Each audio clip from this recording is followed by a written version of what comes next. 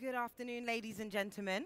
I'm your host, Ramel London, and welcome to the Smart City Expo World Congress in Barcelona.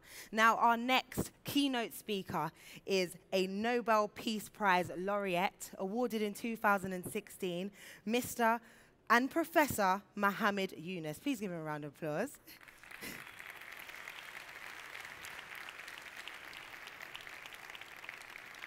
His most recent book is entitled is titled A World of Three Zeros The New Economics of Zero Poverty, Zero Unemployment, and Zero Net Carbon. Professor Muhammad Yunus is the father of both social business and microcredit, the founder of Grameen Bank, and also many other more businesses, up to 50 other companies in Bangladesh. Capitalism, as it is now, practiced recognizes only one goal the selfish pursuit of individual profit. Only businesses designed around the goal and recognize, are recognized and supported. Elimination of poverty, unemployment, and environmental degradation can be dramatically reduced by running social businesses. So please welcome Professor Muhammad Yunus. Thank you.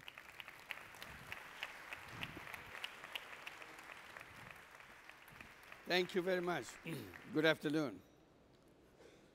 Well, I'm delighted to get a chance to brief you on what I have been doing. And uh, the word microcredit probably is familiar with many people. It was something done accidentally, it's not pre planned or anything like that.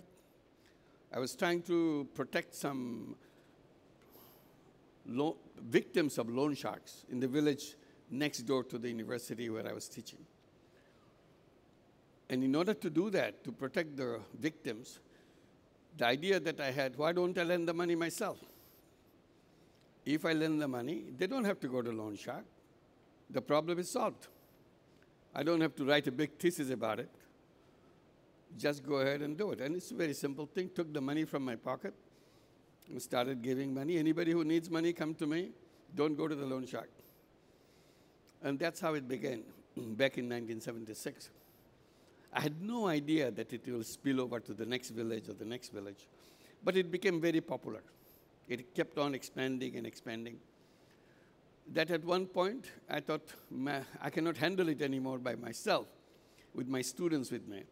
Why don't I create an institution, a banking institution, to create a bank for the poor people. Everybody laughed. Lending money to the poor people is strange. Now you're talking about bank for, a poor, for poor people. But I didn't give up. And finally, in 1983, we got all the clearances and so on, create a bank called Grameen Bank, and continued doing that. It became very popular within the country, outside the country. The word was coined to explain what we do. It's called microcredit, tiny loans. That word didn't exist in English literature. So they had to coin a word to describe what we do. People keep asking me, how did you design the whole bank that it works for the poor people? The whole world saying it cannot work. And you are insisting that it will work. I said that, you know, best thing that happened to me in doing this, I never studied banking. I never took a course in banking, so I could do anything I want. So nobody is in the back of my mind telling you you have to do this, you have to do that. I didn't follow any of those rules. I defied all those rules. To the extent I keep saying that, well, you know, the, the reason it works, I didn't know the rules, so I look at the rules what the banks, conventional banks follow. Each time I look at their rules to see if I, what I have to do, once I learn how they do it, I just do the opposite. And it worked.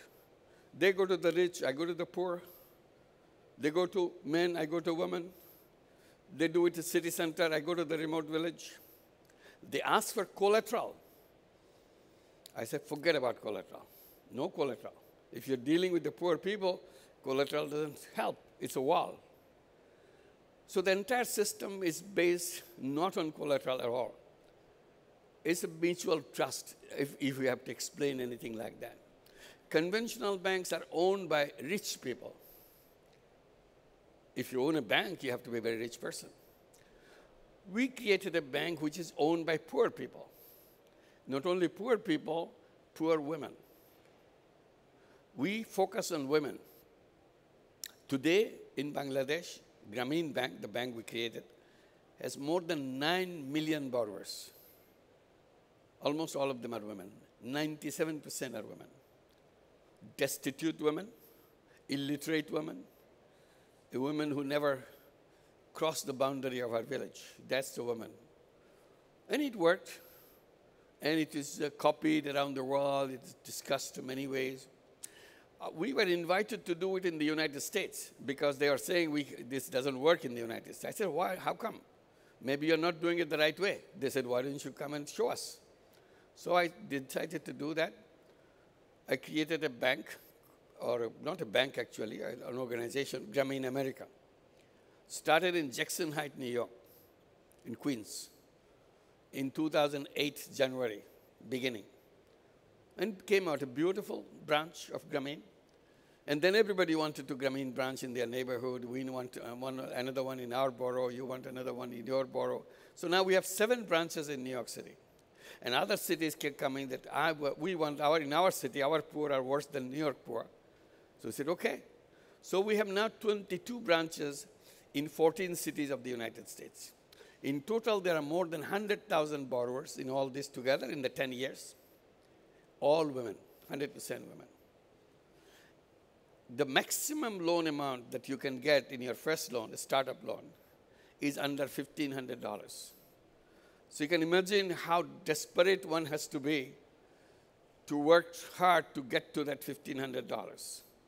And not all of them are $1,500, some of them $700, some of them $800, and so on. But in total, we have given over a billion dollar loan in the United States with perfect repayment in every single branch in every single city. Near 100%. Always over 99.5%. No collateral, nothing, as we follow the same rules and procedure. We kept claiming always from the beginning, I said Grameen Bank is the only bank in the world which is lawyer free. No lawyer in our system because we don't need them. You need lawyer when you have to tie them up with their properties and things like that. We have nothing to tie them up. Of the 100%, uh, sorry, 100,000 borrowers that we have in the United States, 60% of them are undocumented women. Imagine that. Not only women, undocumented. Nobody wants to go anywhere near them. They can be thrown out anytime, particularly with Trump in the White House. You don't know when they're going to throw thrown out. And these are the people that we gave in total a billion dollars, and they pay me back every single penny. People ask me why there is poverty. What is the reason? You have been working with poor people. I say it's very simple. Poverty is not created by the poor people. Poverty is created by the system that we build around us. It is not created by the persons who are poor. It is imposed phenomenon on those persons. Something came from externally. I try to explain it by saying it's like a bonsai. You know the bonsai tree? You take the seed of a very tall tree and put it in a flower pot it grows only this big, it doesn't grow big. And you wonder what happened. Very simple explanation. You didn't give enough soil to grow. So it grew only to the extent of you provided the soil. Poor people, to me, are bonsai people. There's nothing wrong with their seed. Simply, society never gave them the space to grow as tall as anybody could be. And I put it this way I said financial services like loans, insurances, and many other things. These are like financial oxygen to people. Like if you don't have oxygen in this room, we cannot breathe. Soon we'll all collapse. If you don't have the financial oxygen to people, economically people cannot breathe, cannot function. They become dysfunctional. And we call them poor people. It's not their fault. Simply you didn't give them the oxygen. The moment you connect them with oxygen, they become alive, active, creative like anybody else. That's what happens of the millions of millions of women who took loans from Grameen and other such programs to change their life. I confront this issue again and again. How come we cannot get rid of poverty if that's so? I said, because you're not changing the institution. After 42 years of microcredit, all those good things you talk about microcredit, Grameen Bank, you even gave a Nobel Peace Prize for that. But the financial system doesn't change. Banks don't change. I said the existing banks are actually bank for the rich. But we don't say that. We just call them banks. Whenever somebody introduces me, they say he's a banker to the poor. I said, that's great. But would you say that to the other guy who runs the other kind of bank? Is the banker to the rich? You don't say that. So that remains hidden. The fact that it remains hidden, we are not aware of it. If we call them banker to the rich or bank for the rich, everybody will say, where is the bank for the poor? Bank for the poor doesn't exist. And that's the trouble we have. And that's not only that, the whole system that we built works only for the people privileged. It doesn't work for the people at the bottom. And that continues. Today, all the wealth of the world is getting concentrated and concentrated and fewer and fewer hands. Everybody knows that. But we don't talk about it. We are told again and again this year that eight people in the world own more wealth than the bottom 50% of the population of the world. Eight, sorry, four billion people's worth put together equals to the wealth of eight persons. And we know those eight persons. They're our friends. They're good people. Warren Buffett, Mike, Bill Gates, Mark Zuckerberg, you name them. And we'd love to take selfie with them. No problem. But that's the way wealth goes. If you look globally, 99% of the wealth belongs to 1% of the population of the entire world. In other words, 99% of the population of the world gets only 1% of the wealth of the world. And where do this 1% of the population live? Probably half a dozen countries, maybe seven countries, eight countries. That's where all these 1% people live. So all the wealth of the world is concentrated in their hands. What happens to the rest of the world, rest of the countries? They have to be satisfied with 1% of the total wealth of the entire world. What I keep reminding people, if this is true, if you are convinced this is true, this has been repeated many times, then this is a ticking time bomb. The whole world will explode in anger, in dissatisfaction, politically, economically, you name it. You see expressions of such anger in, in the politics of many countries already. And that's what I have been trying to talk about in the book that I just, this is the reason I'm here. It's called A World of Three Zeros. Just came out the Spanish version. The English version was published before. World of Three Zeros, zero poverty, zero unemployment, zero net carbon emission. And we can create that is world. Why can't we do it now? Because we cannot do it, our system is wrong. I keep repeating, if we follow the old roads, we always end up with the old destination. Old destination is poverty. Old destination is environmental degradation. Old destination is unemployment. So if you want to get out of it, a new destination, we have to build new roads. Old roads will never take you to a new destination. If you want, if you have something in your mind as a new destination, this is where we want to go. And it will have to be built, roads have to be built new. What I was trying to do, like I did microcredit unknowingly, accidentally, but it needed by the people. When I was working with them, I saw many other problems with the poor people, not just financial services. Healthcare, water, sanitation, housing, you name it. So every time I look at those problems very closely, because I'm very close with them every day, I wanted to be somehow involved in it, helping them to solve it. I could solve it in a charity way. I give some, bring some money, raise some funds, build few houses, bring some money, have a health clinic. We all do that in our foundation, in the RNG activity. I didn't take that path. What I did, every time I see a problem, I create a business to solve it. Sounds very funny, but that's what I did. I created one after another, business after business. And these are businesses having strange some features. People identified that I'm doing some strange business. Strange because I don't want to make money out of it. Because the core cornerstone of business is to make money. The more money you make, more successful you are. Here I'm saying I don't want to make money. I want to solve problem in a business way.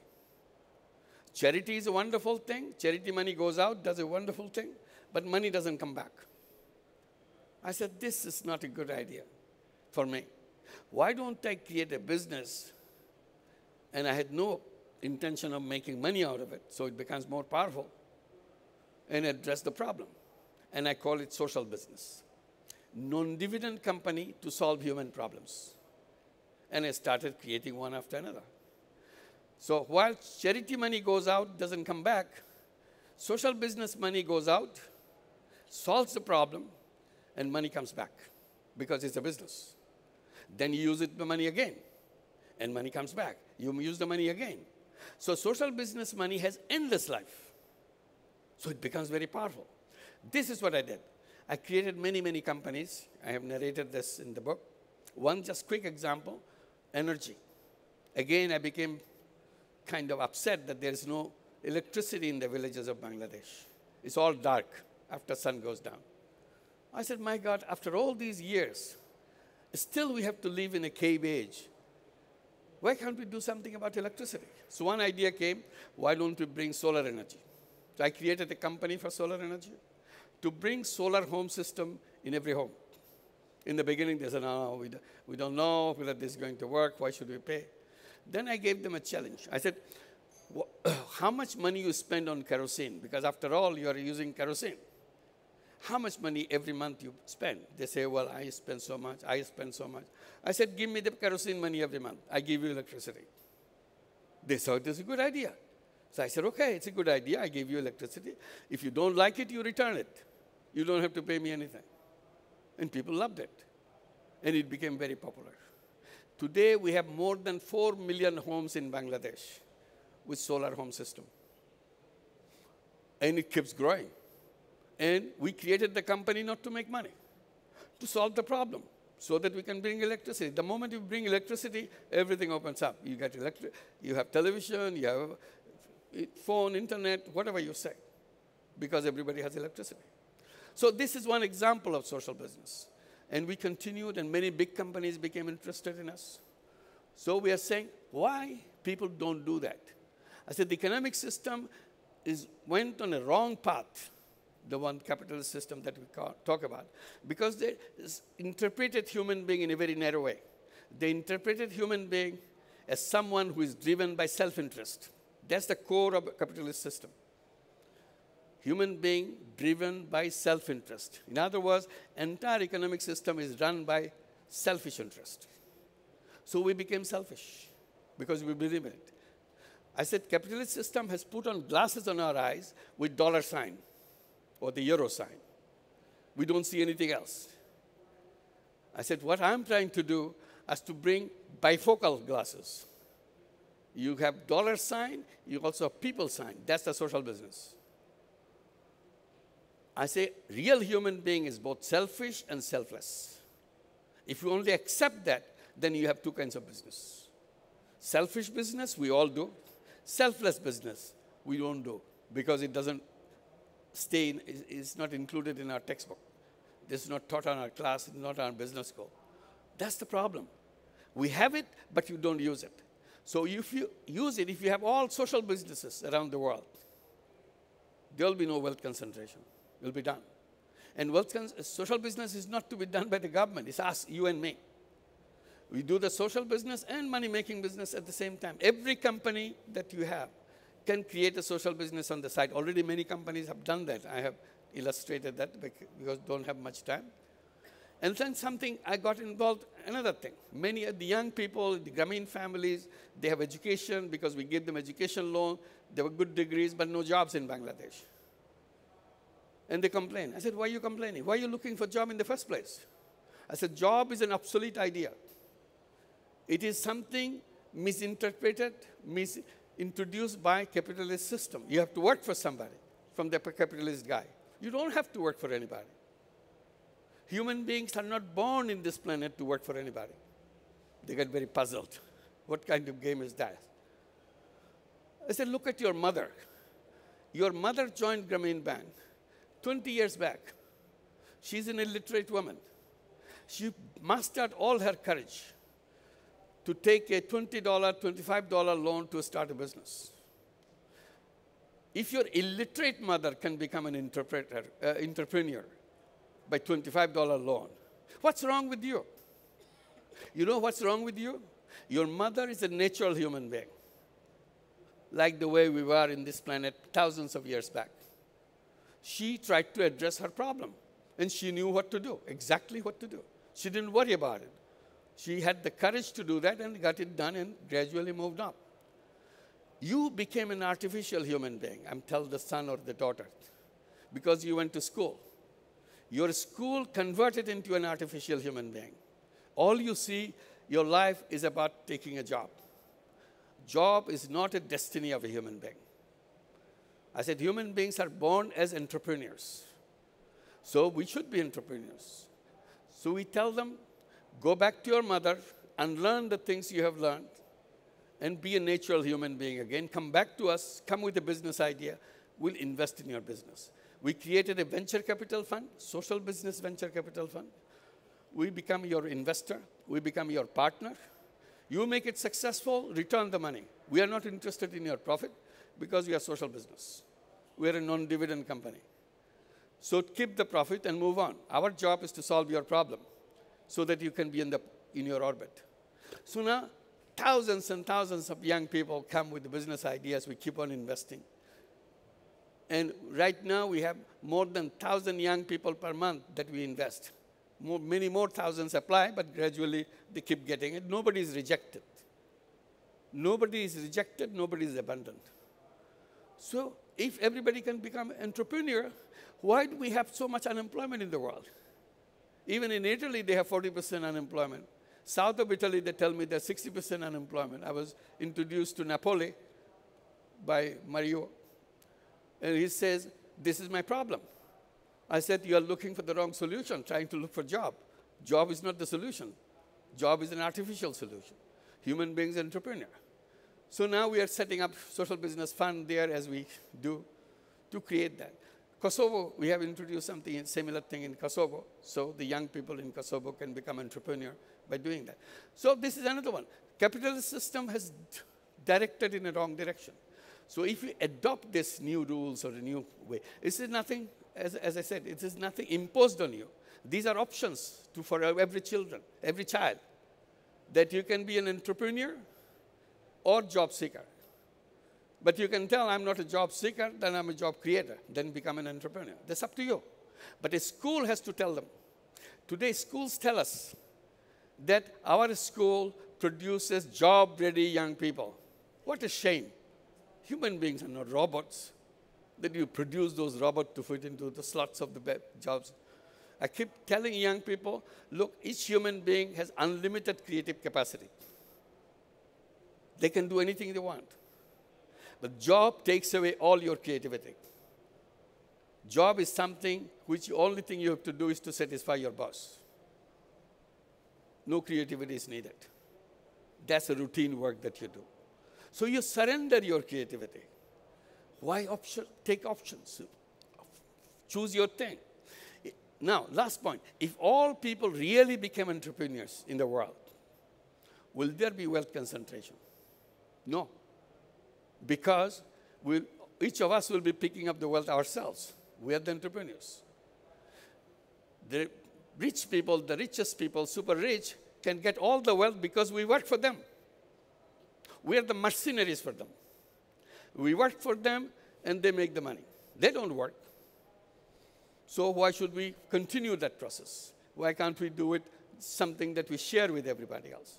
So that's the point that I want to, to I want to, I want I raised in the book that we need to build these new roads so that we can build this new world that we want where there'll be no poverty, no unemployment. I keep repeating, unemployment is created through the concept of employment. If we didn't have the concept of employment, there will be no unemployment because we'll be doing our own thing. And zero net carbon emission, which everybody is familiar with, but urgency is not realized. We have only 30 years to go to save the planet. 1.5 degrees Celsius temperature by 2040. That is the time limit. Or if it's a worst case scenario, it is one, 2.2 uh, degrees Celsius by 2050, which is 30 years from now. After that, we are in a point of no return. So whichever direction you see, you are up for trouble, up for extinction. So we, unless we get out and make sure this society doesn't explode because of wealth concentration, it doesn't dysfunctional, burned out planet by the 2050, we have to get the action going right now. Thank you very much. Thank you.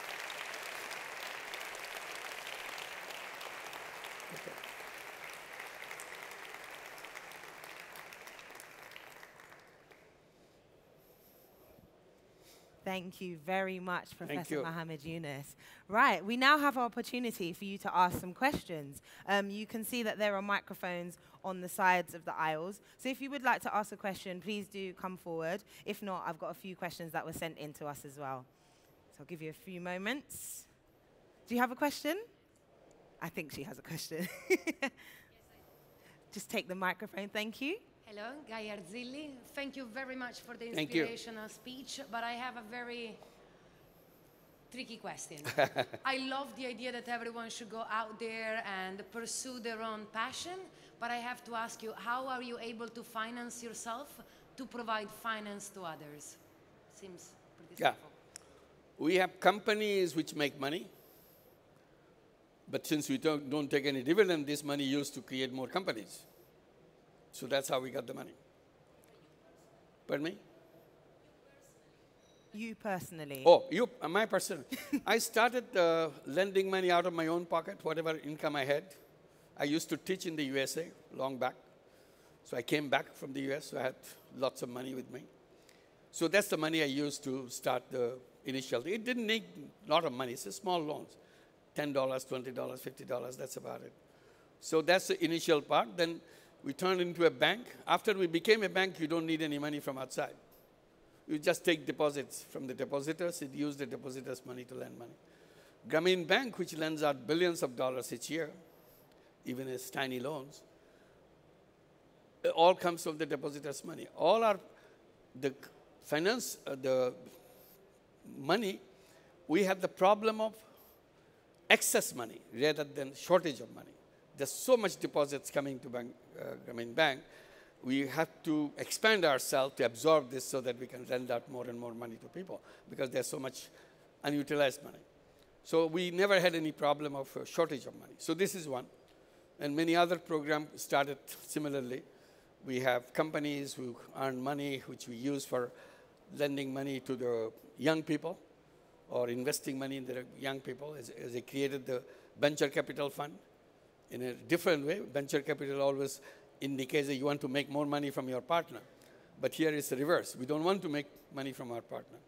All the money, all the profit belongs to him or her. So we do that. So this is how we do, keep all the business. And then we create over, now that it uh, started expanding, we have created social business funds in many countries.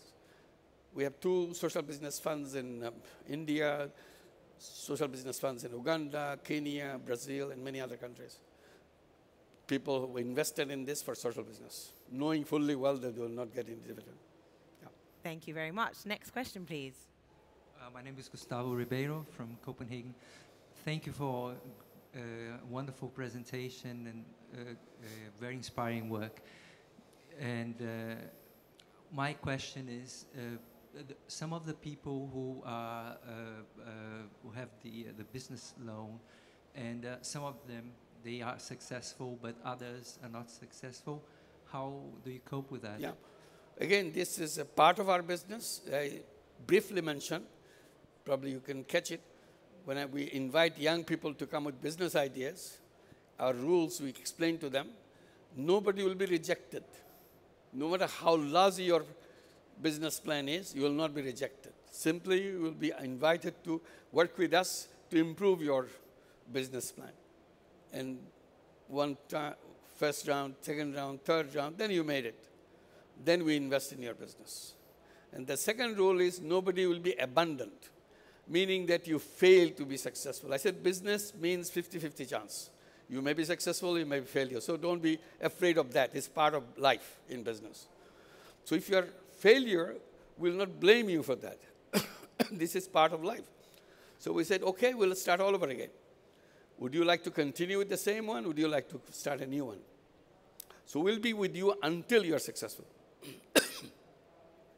and that way, we'll, we're not forgiving any money. We're not forfeiting any money. But gradually, we'll make you so successful, you'll be returning all the money that you took in the first place. So it will be done, finished. And since we are not making any profit out of it, it's just a core money that I gave you, and you're sending it, giving it back, it's not a heavy burden on them. So this is how we worked it out. Thank you.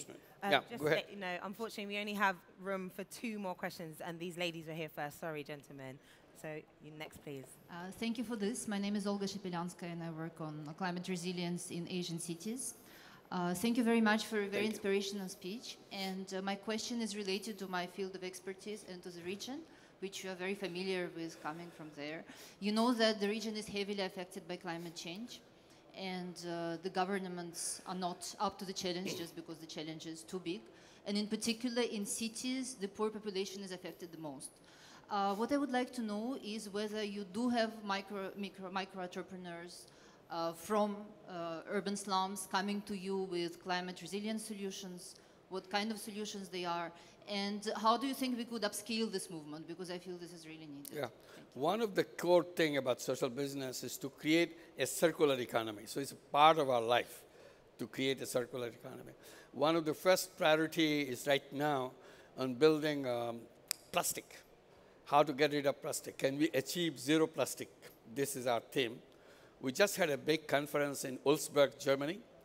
We invited plastic companies also, negotiate with them how they are going to transform themselves into zero plastic direction or a circular direction, either way. Uh, so we had several uh, plastic companies participating with us. Uh, we have already demonstrated to them 10 rivers in the world. Eight of them are in Asia, two of them outside of Asia. Contribute 80% of the plastic waste ending up in the ocean. So if we clean up those 10 rivers, we could come to a level that we can control plastic, un unless we can control the plastic producers. Because plastic producers keep on producing, then it goes again. So one of our first job right now, we are working in a project for last two years, designing and finishing it up uh, in Vietnam to clean up Mekong River which is not one of the 10, but Mekong River. We thought this is a manageable one that we can start and make sure Mekong River becomes free of all garbage and all plastic. And we are working with the many companies, many laboratories to make sure that this can be done. So it's not a, simply a, a do-gooder's job. It's a, lots of science involved, lots of ideas involved. One is to recycle them into long-lasting plastic, which is the easier solution. Uh, and with the laboratories, we are talking about how to make biodegradable plastic, if it is possible. It's a challenge, you can make it. So many directions, just to give an example. Another one is we are working with the tire companies. Tire is a big polluter too. Millions and millions of tires. Only 7% of the tires in the whole world is ever used for any, for any other purpose after it's retired from its own job. Others are just thrown away. Imagine what happens to the world by that. So we are insisting on the tire company that they, they must find out with us or with themselves, whichever they find fit, to make sure 100% of the tires are recycled. Tire is a very interesting object. It's basically three elements in it. It's a, it's a rubber, which is a natural product. It's not plastic. It's a rubber. And lots of metals. Metals is always precious. And some chemicals, which burns. You can have fuels, you can have oils. So if you can create, divide it up, take it out its original shape to rubbers and metals and liquids, suddenly it becomes very attractive product. Today, only thing about the 7% we say, they chop them up into little pieces, use it for road construction, which is not very good idea. So we are working with the scientists, with everybody else, to make sure rubbers can come back. So we are working with Michelin. We're working with CEAT in India. We are working with Continental in uh, Germany so that we all work together to make sure this doesn't become pollution, create pollution, and create social business. This is something they have to do, not to make money, but to solve the problem they have created, and we all together created. So make sure. So these are the ways. It's, it's something, if you put it in your mind, it can be done. It's not something somebody else do. It's I do and you do. You have an idea, share it with us, share it with somebody else, so that we can address those problems. Leaving it to the government, leaving it to some international agency doesn't do the job. It's us, are the people who will be living on this planet. We have to keep it safe. Thank you. Thank you very much. Unfortunately, I'm very sorry. We're going to have to close there. But can we give another massive round of applause to Professor Muhammad Thank you. Yunus? Thank you so much. Thank you so much. Thank you. Thank you. Thank you.